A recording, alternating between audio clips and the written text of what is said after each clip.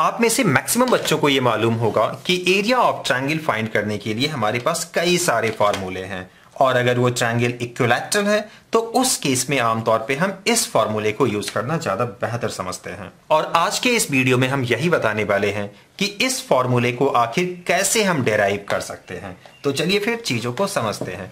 अब देखो area of triangle find करने के लिए जो सबसे कॉमन फॉर्मूला है हमारे पास, वो ये है। चलो मैं टिल्ट करके ही लिख देता हूँ।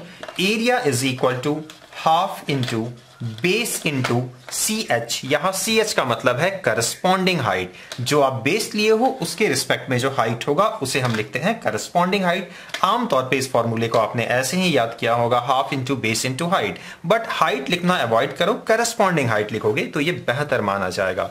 तो चलिए आज मैं इसी चीज़ को डेराइव करता हूँ. तो देखो, इसके लिए मैंने एक इक्वलैटरल ट्रायंगल बना लिया और इसके हर एक साइड्स को मैं ए कंसीडर कर लेता हूँ राइट अब इसके बाद ऐसा करते हैं, यहाँ से मैं नीचे की ओर परपेंडिकुलर डाल देता हूँ। तो देखो, मैं ये परपेंडिकुलर डालता हूँ, चलिए। कुछ नाम भी दिया जा सकता था।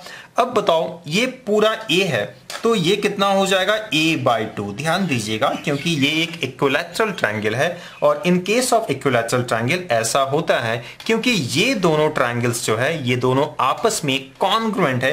काफ़ी आसानी से इन दोनों को आप कॉन्ग्रुएंट साबित कर सकते हो। अगर आप कॉन्ग्रुएंसी ऑलरेडी पढ़ चुके हो फिर तो ये बात आपको समझ में आ रही होगी। और अगर इनकेस नहीं पढ़े हो तो उस चीज़ को फ़िलहाल इग्नोर कर दो। लेकिन मैं यहाँ समझा देता हूँ बट घबराना मत। देखो, इन दोनों ट्राइंगल्स को जब आप देखोगे तो आप देख सकते हो, ये कॉमन हो गया, ये दोनों 90 हो गए, और ये दोनों भी आपस में इक्वल हो गए। तो इस तरीके से by R H S condition ये दोनों कॉन्ग्रुएंट हो गए, और इस हिसाब से this length must be equal to this length CPCT हम लिखते थे वहाँ। तो खैर, जो भी हो, मैंने इसे लिखा ए बाई टू राइट अब आपको आना होगा इस वाले ट्रायंगल में। अगर आप कहो तो मैं कुछ नाम भी लिख दू। चलो, आपके लिए मैं नाम लिख देता हूँ। ये मैंने लिखा ए बी सी और इसे कर देता हूँ एम अब आपको आना होगा ए बी एम देखो, ये एक ट्रायंगल है ए बी एम जहाँ एम पे 90 डिग्री बन रहा है। तो डेफिनेटली आप पाइथागोरस थ्योरम तो यूज़ कर ही सकते हो। चलो, इसे मैं एच कंसीडर कर लेता हूँ। तो बताओ according to Pythagoras theorem H is equal to H का मतलब हाइपोटेनिस यहाँ नहीं है। मैंने कुछ भी नाम लेना था, मैंने एच ले लिया राइट ना? तो H is equal to triangle में देखो। This length is equal to this length का स्क्वायर अंडर रूट में होगा और ये बस पैथागोरस अप्लाई कर रहा हूँ। आई होप ये बात तो आपको समझ में आ ही रही होगी। मैं लिख देता हूँ, ध्यान से देख लो। माइनस मैंने लिखा, अगर मैंने पहले प्लस बोल दिया था तो sorry for that A square by four हो जाएगा राइट ना? सिंपल है ना?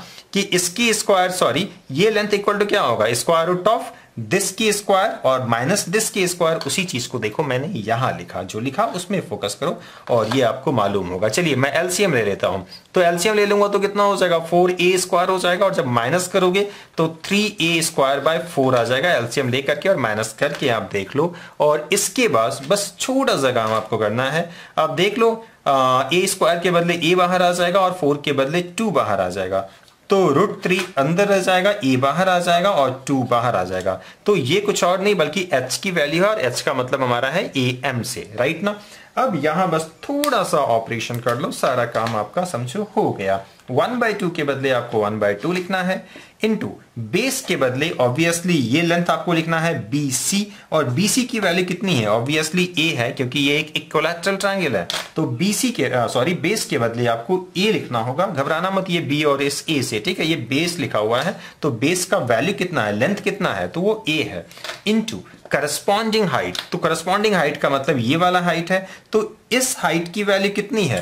Root three A by two है तो उसी चीज़ को यहाँ हम लिख लेते हैं root three A by two right बस समझो आपका काम हो गया।